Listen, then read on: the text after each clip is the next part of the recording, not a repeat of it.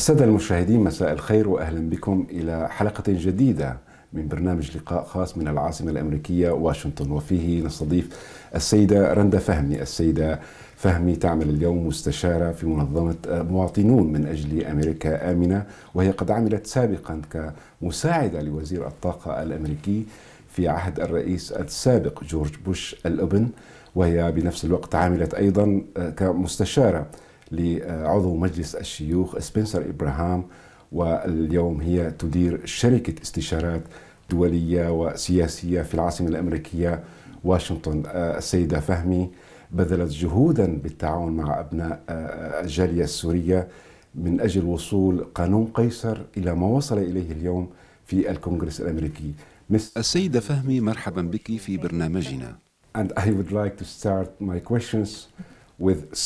أود أن أبدأ سؤالي الأول بمشروع قانون قيصر ما هو وضعه الحالي في الكونغرس؟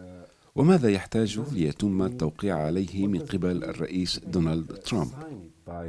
President Donald Trump. Right.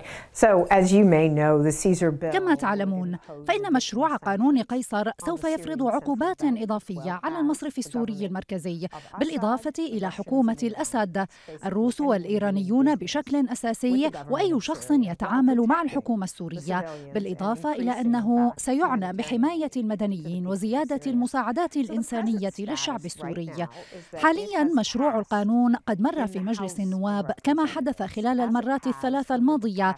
المشكلة هي أنه لم يشق طريقه إلى مجلس الشيوخ بالطريقة المناسبة. حيث تم إلحاقه في حزمة مشروع القانون الأول الذي تم تقديمه في مجلس الشيوخ حيث تمت الموافقة عليه. هذا التشريع بصيغته الخاصة والذي يتضمن جملة قوانين من بينها قيصر. سوف لن يمر في مجلس النواب اليوم. لكن الآن فإن رئيس لجنة العلاقات الخارجية في مجلس الشيوخ قد أعلن علانية أنه سيفعل ذلك بالفعل لقد قدم مشروع قانون قيصر وسيمرره من خلال اللجنة إلى التصويت Uh, هناك العديد من المعارضين لمشروع القانون من هم؟ ما هي وجهة نظرهم؟ ولماذا يعارضون مشروع القانون؟ uh, إنه. أمر مثير للاهتمام لأنه عندما نعمل على مشروع القانون بكل جدية خلال العام الماضي لم نسمع أي اعتراض عليه بالطبع باستثناء حكومة سوريا ومؤيدي الأسد. نسمع الآن بعض أفراد المجتمع يعترضون عليه ولكن بصراحة شديدة لا أعتقد أنهم قد قرأوا مشروع القانون. هناك نسختان مختلفتان. هناك نسخة في مجلس النواب تختلف عن النسخة في مجلس الشيوخ وهكذا عندما يعترض الناس أسألهم ما هي النسخة التي تعترضون عليها؟ نسخة مجلس النواب أم نسخة مجلس الشيوخ؟ وهل قرأتم مشروع القانون؟ بشكل عام فإن إجابتهم هي لا لم نقرأ مشروع القانون. الذين يقولون أو يسمعون عن ماهية الأحكام في مشروع القانون اعتراضهم الأكبر هو أنه سيؤثر على الشعب السوري. بمعنى آخر سينتهي المطاف بعقوبات تؤثر على الشعب السوري وهذا في الواقع غير صحيح فيما يتعلق بهذا القانون. Uh, uh, ربما هناك اعتقاد قوي ليس فقط بالنسبة لأعضاء مجلس النواب ولكن بشكل عام بأن العقوبات سوف تؤثر على الشعب ويعتمدون في هذا الاعتقاد على تجربة سابقة عندما فرضت الولايات المتحدة عقوبات على نظام صدام حسين في العراق حيث كان الشعب العراقي هو من عانى في النهاية at the end of the day the Iraqi people who they suffered a lot from Right. the. So I know the Iraqi case quite well. أنا I أعرف القضية العراقية جيدا. كنت أعمل في مجلس the الشيوخ الأمريكي في عهد الرئيس كلينتون عندما تم فرض العقوبات. لقد ساعدت بالفعل في تقديم المساعدات الإنسانية للعراق من خلال الحصول على التراخيص المناسبة من وزارة الخزانة. وكانت هناك جالية عراقية نشطة للغاية في ولاية ميشيغان. وساعدتهم في توصيل الإمدادات الطبية وحليب الأطفال إلى العراق. لكن الوضع الآن مختلف تماما.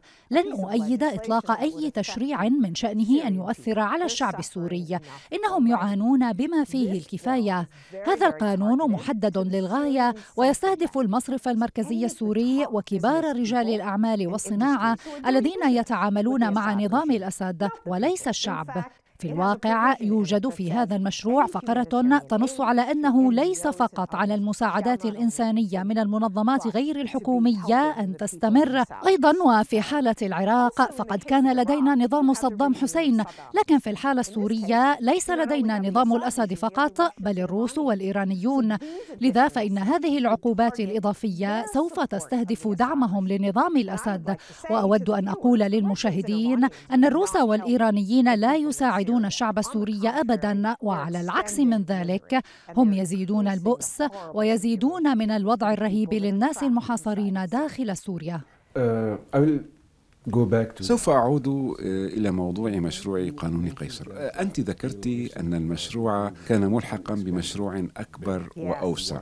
لماذا جرى ذلك وتم وضع قيصر ضمن قانون موسع؟ ومن ناحية ثانية ما هو الأفضل بالنسبة لمشروع القانون. هل الأفضل أن يكون ملحقا بقانون أكبر أم أن يتم التصويت عليه بشكل منفصل؟ لأننا نعلم أنه تم تمريره في مجلس النواب ونحن نعلم بالفعل أن الرئيس ترامب أصدر بيانا من البيت الأبيض يقول فيه إنه بمجرد أن يصبح القانون جاهزا فسيوقع عليه. عندما تم تضمين مشروع القانون الأول لمجلس الشيوخ الأمريكي والذي كان يسمى إس واحد واحد كانت هناك مساعدات لإسرائيل ومجموعة مساعدات اقتصادية للأردن والتي أعتقد أننا يمكن أن نتفق عليها جميعا ومن ضمن ذلك القانون الموسع كان لدينا مشروع قانون قيصر وسبب إضافة مشروع قانون قيصر إلى مشروع القانون هذا هو أننا والجميع اعتقدنا أنه سيتحرك بسرعة عبر مجلس الشيوخ وهذا ما حصل وسوف يذهب إلى مجلس النواب ويتم تمريره ثم ننتهي. ومع ذلك فإن التعقيد جاء عندما أضاف عدد قليل من أعضاء مجلس الشيوخ بندا إضافيا. وذلك قد تسبب في قدر كبير من القلق بين الناس سواء في مجلس الشيوخ أو في مجلس النواب. كان هناك فقرة تتعلق بحركة المقاطعة وسحب الاستثمارات والعقوبات وعدم المشاركة في أي شيء يعتبرونه زيادة في احتلال الحكومة الإسرائيلية لفلسطين. ولسوء الحظ فإنه عندما تم إرفاق تلك الفقرة الرابعة وعلى الرغم من أنها مرت في مجلس الشيوخ إلا أنه ليس هناك أي بصيص أمل في تمريرها في مجلس النواب. وهذا ما تسبب في حدوث تعقيد. في غضون ذلك أقر مجلس النواب نسخته المستقلة الخاصة بمشروع قانون قيصر والتي تم إقرارها وهي تختلف عن إصدار مجلس الشيوخ لغويا فقط. وكما ذكرت أعلن السيناتور ريش رئيس لجنة العلاقات الخارجية في مجلس الشيوخ أعلن أن مشروعه S 52 وهو مشروع قيصر مستقل وسوف ينتقل الآن إلى اللجنة في الكونغرس.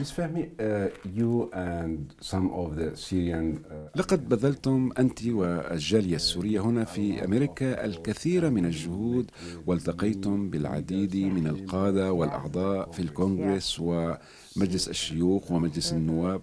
عندما قابلتوهم ما هي الصعوبات التي واجهتك لإقناعهم بدعم مشروع القانون؟ What kind of difficulties you have faced to convince them to, yeah. to support the bill?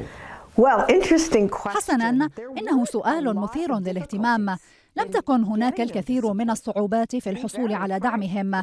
بصراحة كانت المشكلة أنهم لم يعرفوا شيئا عن مشروع قانون قيصر. عندما بدأنا هذا الجهد قبل عام وتحدثنا إلى بعض كبار أعضاء مجلس الشيوخ كان ردهم ما هو مشروع قانون قيصر؟ لم يعرفوا ما هو لأنه انتقل من خلال مجلس النواب حيث تم تمريره ثم توقف في مجلس الشيوخ ثم انتقل إلى لجنة العلاقات الخارجية بمجلس الشيوخ. لكن بكل المقاييس لم يحظى باهتمام من قبل أي شخص. ثم كما ذكرت كنت أعمل مع منظمة مواطنون من أجل أمريكا آمنة. وقد اجتمعنا وقمنا بتحليل الوضع. ولأنني عملت في مجلس الشيوخ كنت أعرف الإجراءات ولذلك قلت هذا أمر لا يصدق. لماذا لم ينتقل مشروع القانون إلى مجلس الشيوخ؟ لذلك كان التحدي الأول هو تثقيف أعضاء مجلس الشيوخ حول مشروع قانون قيصر. هم لم يعرفوا ما هو مشروع القانون لكن وبمجرد أن شرحنا لهم عن مشروع قانون قيصر وما يتضمنه فتحوا أعينهم مستغربين. وبعد ذلك أصبحوا على دراية كاملة بأحكام قانون قيصر. وفي الواقع اليوم هناك دعم كامل ومطلق من الحزبين الجمهوري والديمقراطي. كنت قد سألتك عن الذين يعارضون مشروع القانون هل التقيت معهم؟ هل حاولت أن تفهمي وجهة نظرهم؟ Attitude is Absolutely. So there's one senator who بالتأكيد هناك عضو. واحد في مجلس الشيوخ يعارض بشدة مشروع قانون قيصر لعدة أسباب. قبلناه مرات عدة في محاولة تغيير رأيه. uh. إنه معروف بوجهات نظر مختلفة بين أعضاء مجلس الشيوخ. لديه وجهة نظره الخاصة بكل شيء وهو لا يدعم العقوبات. إنه شخص يفكر بمفرده. A thinker you are on his talking about own. Rand Paul. Yes, Senator Rand Paul, exactly. نعم إنه السيناتور راند بول من كنتاكي التقينا به عدة مرات لمناقشة الوضع وبصراحة لم يعرف القصة الكاملة لقد كان يفترض مخطئا بوجود أشياء على أرض الواقع في سوريا ومن هم حلفاء الأسد وكيف عومل المسيحيون في سوريا وكيف أسيئت معاملتهم لذلك استغرق الأمر بعض الوقت من أجل تثقيفه ومع ذلك فإنه حافظ على موقفه وبقي لا يعتقد أن العقوبات هي النوع المناسب من الحلول إنه ليس من محبي الأسد لكنني أعتقد أنه يريد التوصل إلى تسوية تفاوضية وهو أمر غير وارد بالنسبة لنا في هذه المرحلة which is out of the question for us at this point. السادة المشاهدين فاصل قصير ونعود لاستكمال الحوار مع السيدة رندا فهمي. ابقوا معنا.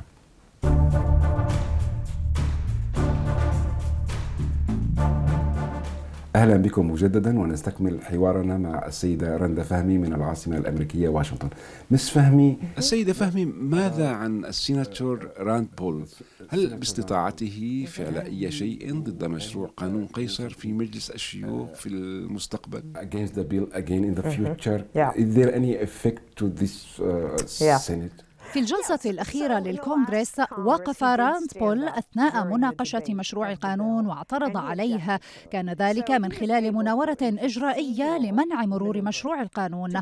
وكما تتذكر فقد حصل الإغلاق الحكومي في الولايات المتحدة ولم نقم بأي تشريع لسوء الحظ وانتهت الدورة التشريعية. لذا كان علينا إعادة تقديم كل شيء من جديد في الجلسة في كانون الثاني يناير. وفعلنا ذلك على الفور حيث تم تقديم مشروع اس واحد وتم تقديم نسخة مجلس النواب ووافقوا عليها بسرعة. وقد أصبحنا في موقف يتعين علينا فيه تحريك هذا المشروع منفردا لكن هناك حالات يمكن أن يتم فيها منعه وفقا لإجراءات معينة. ونحن نعمل على ثلاثة احتمالات مختلفة لإجراء مناورة إجرائية في مجلس الشيوخ مع أعضاء آخرين في المجلس. لا يستطيع من خلالها راند بول منع إقرار مشروع القانون.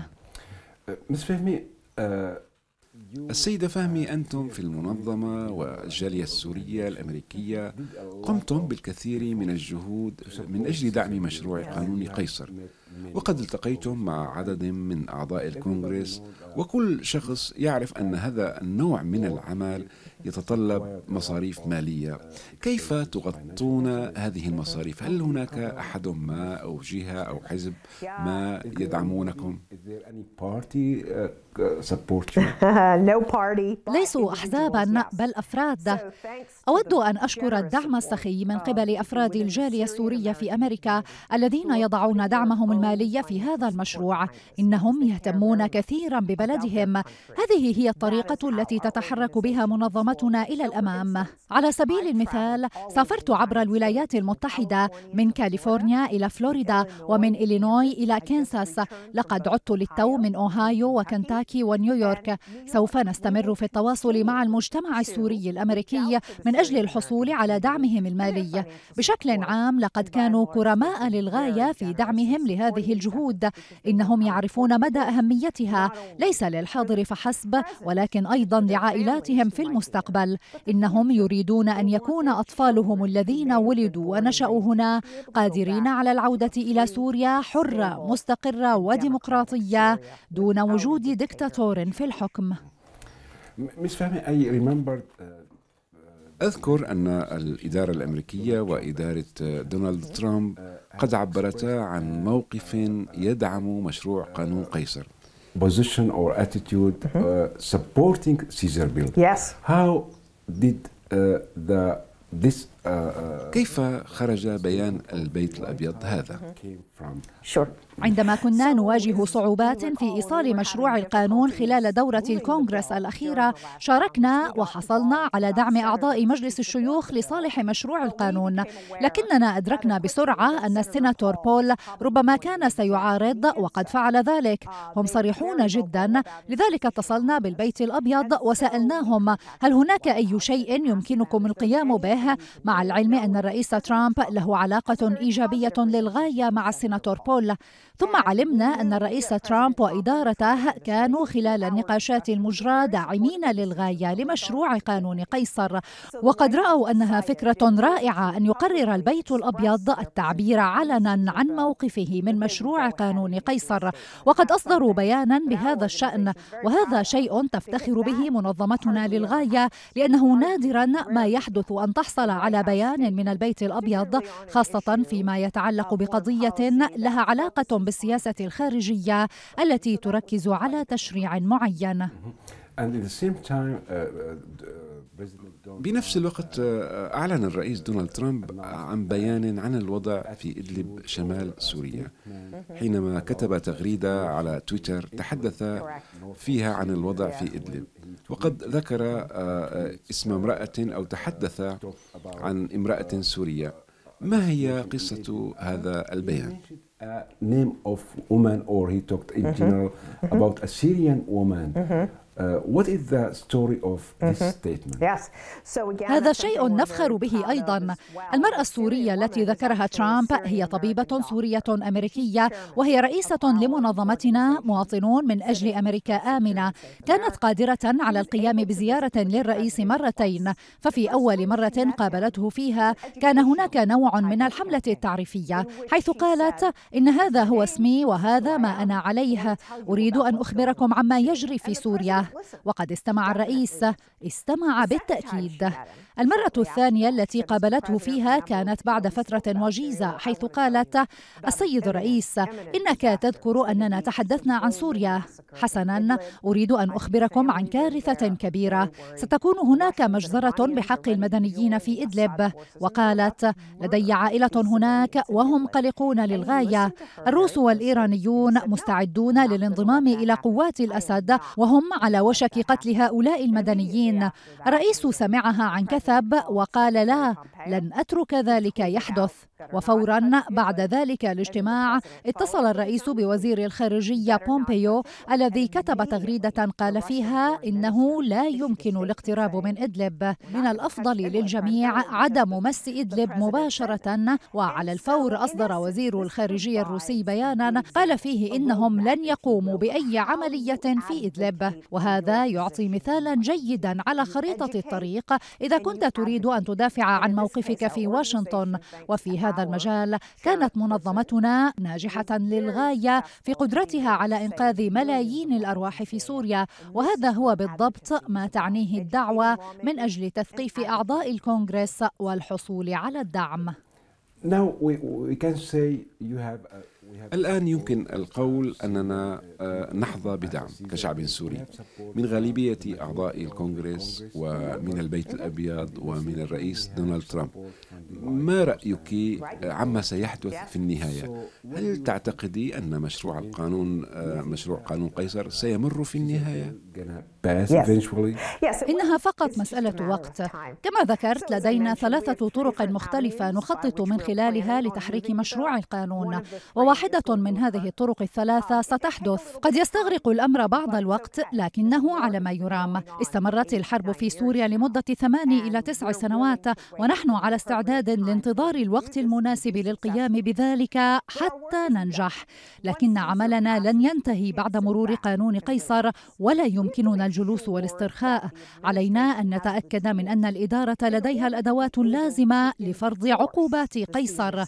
لذلك على سبيل المثال فإن العديد من العقوبات تستهدف الأفراد. نحتاج إلى مساعدة الإدارة في تحديد هؤلاء الأفراد ومساعدتها إذا احتاجت في تحديد أين يتدفق المال وإلى من ومن هم الأشخاص الذين ينتهكون تلك العقوبات. هذا مهم جدا جدا. لذلك فإن تطبيق قانون قيصر هو ما سنكرس له جهدنا بعد أن يتم إقراره. الشعب السوري بشكل عام لديه نوع من الأمل فيما يتعلق بهذا المشروع.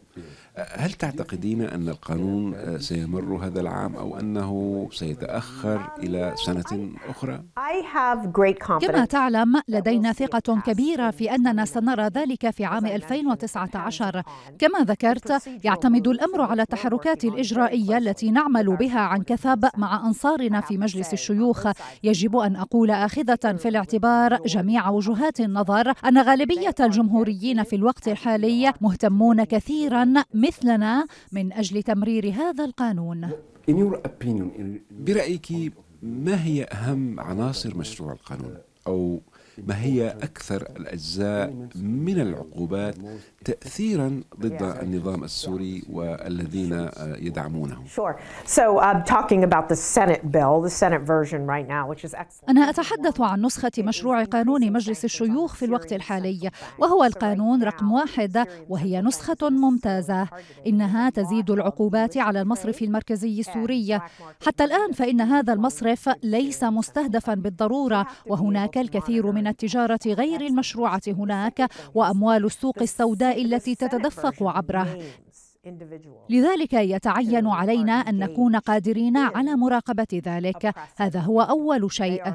الأمر الثاني هو أن نسخة مجلس الشيوخ تدرج أسماء الأفراد الذين يشاركون في دعم نظام الأسد القاتل. وهكذا فإن نسخة مجلس الشيوخ تسمي في الواقع الأفراد سواء كانوا اشخاصا حكوميين أم اشخاصا في القطاع الخاص. وهذه النسخة تلاحق إيران وروسيا. الجميع يعلم أن روسيا وإيران تدعمان الأسد وروسيا تدعم فقط طالما تستطيع الحصول على شيء يفيدها. لكن عندما يدرك الروس أن التدفقات المالية قد قطعت ربما سيبدأون في رؤية الأشياء بشكل مختلف.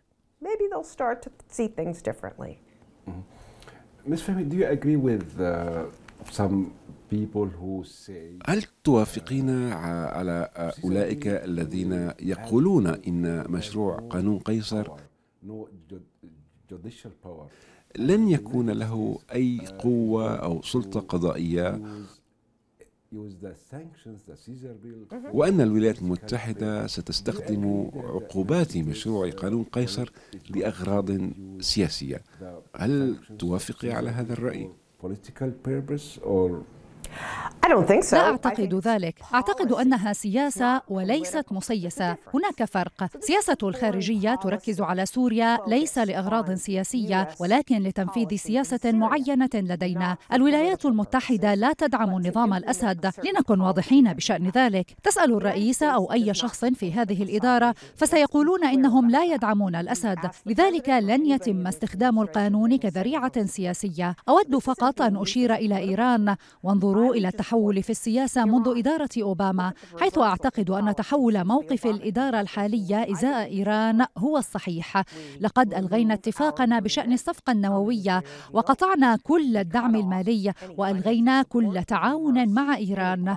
إنها ليست سياسة وتسييس بل إنه موقف سياسي لأن إيران تعارض مصالح الولايات المتحدة في كل مكان من العالم الآن. My last question. سؤالي الأخير آه، هل تعتقدي أن مشروع قانون قيصر سيساعد في إيجاد حل سياسي للأزمة السورية؟ حسنا آمل أن لا يكون الأمر مجرد مشروع قيصر. أعتقد أنها أداة واحدة من مجموعة أدوات. إلى جانب مسائل أخرى يتعين علينا أن نواجهها. علينا إيجاد حل سواء كان ذلك من خلال الأمم المتحدة أو من خلال فرض عقوبات إضافية عبر أنواع أخرى من التشريعات ومشاريع القوانين ومن خلال المجتمع الدولي. أنا أجازف بالقول إنه وبخلاف روسيا وإيران فإن لدينا آخرين في المجتمع الدولي يريدون حلا في سوريا ويرغبون في وقف مذبحة المدنيين ومعاناة الناس. ليس فقط الموجودين في سوريا بل اللاجئين. ودعنا لا ننسى هؤلاء. ولذا أعتقد أن هناك انواعا مختلفة من الأشياء التي سنعمل على إيجادها كنوع من التسوية. لذلك مرة أخرى أقول إنه يمكن للشعب السوري أن يعيش في بلد حر وديمقراطي. السيدة فهمي شكرا جزيلا لك. وفي نهاية هذا اللقاء لا يسعنا إلا أن نشكر السيدة آه، رندا فهمي في هذا الحوار الخاص والممتع من العاصمة الأمريكية واشنطن. إلى اللقاء.